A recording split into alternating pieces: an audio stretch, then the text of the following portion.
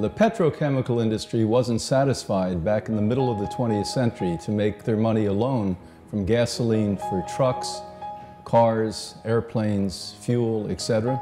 They then created the petrochemical industry, which is fertilizer, pesticides, fungicides, and now polyester clothes, nylon clothes, etc. What we do know is that even a 10-year-old blouse that when it was tested after 1,000 washings a decade later, was emitting 97% of the same gastric disease-causing fumes that they were the day they were manufactured.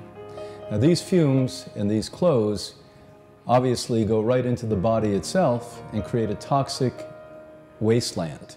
We have to start to address the fact that natural fiber clothing, clothing should be worn and your undergarments need to be all the time organic.